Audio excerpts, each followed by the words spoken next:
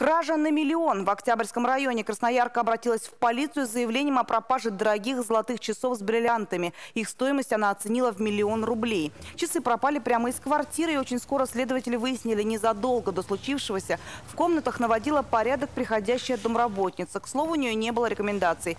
Полиция призывает горожан все-таки тщательно выбирать персонал для работы по дому. Женщину они задержали. Она признала, что хотела таким образом получить дополнительный приработок, о реальной стоимости украденных часов даже не догадывалась.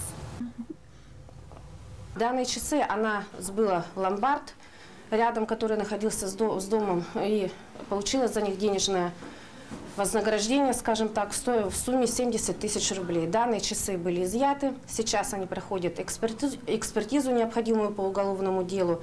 В отношении домработницы 78 года рождения возбуждено уголовное дело по статье 158 Уголовного кодекса Российской Федерации. Это кража.